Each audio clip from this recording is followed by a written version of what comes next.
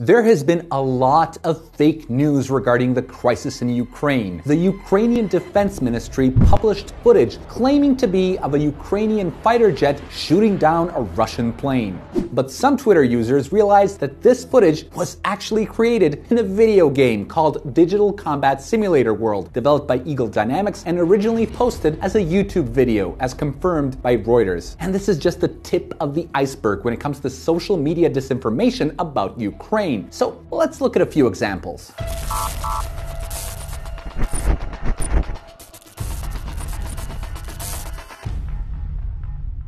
US Congressman Adam Kinzinger tweeted about the so called Ghost of Kiev, the Ukrainian ace fighter pilot who allegedly downed six Russian jets, or as Kinzinger put it, owned the Russian Air Force. Kinzinger wished the pilot, who identified as Samuel Hyde, Godspeed and more kills, without checking the picture that showed American comedian Sam Hyde pretending to be a pilot. Uh, needless to say, he's not. And then there's BBC Breakfast using this footage of what they said was Russia's invasion of Ukraine.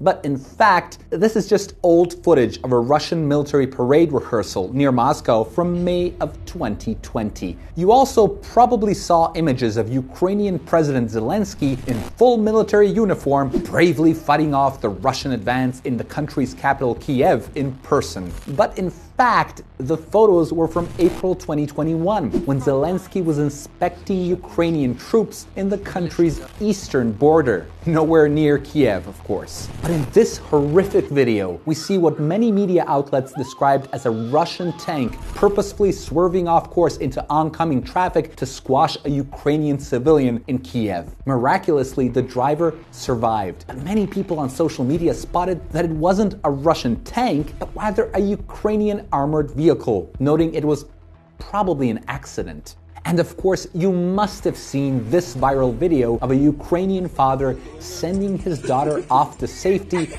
as he stays to fight Russia after Russian forces entered Ukraine.